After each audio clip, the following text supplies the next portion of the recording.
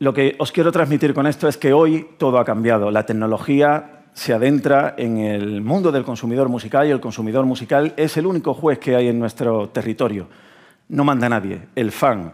Un fan que, por cierto, tiene 40 millones de canciones metidas en su bolsillo a golpe de un solo clic, que esto hace que la mente se convierta en... Bueno, pues se, se, se vuelva como más exigente que nunca y provoca que el producto, vosotros, tengáis que esforzaros muchísimo más para obtener visibilidad y poder vivir de la música.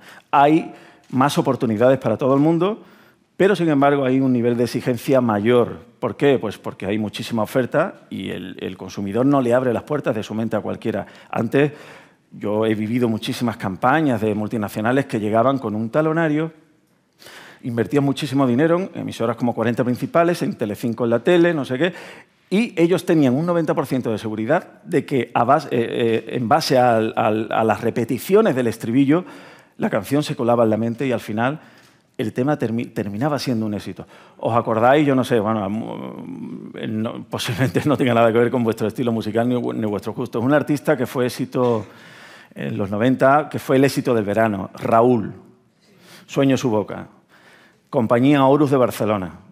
Este éxito se fraguó de manera inteligente por parte del dueño de la compañía de esta manera. Antes de presentarlo a la radio, el estribillo pues, lo convirtió en un spot de publicidad y, como no había apenas internet, yo recuerdo de eh, veía un partido de fútbol en el descanso, el sueño en su boca con el estribillo. Decía, ¿quién coño es este?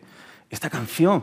Luego automáticamente empezó en la radio, pero cuando entra en la radio ya el tema era número uno en la lista de FIBE de ventas. Lo habían hecho pues solo en base al machaqueo, que es como las grandes marcas funcionaban antes de que llegase Internet. Ahora hay que aportar valor y hay que construir la marca desde abajo, si no, os puedo garantizar que no tendréis sentido.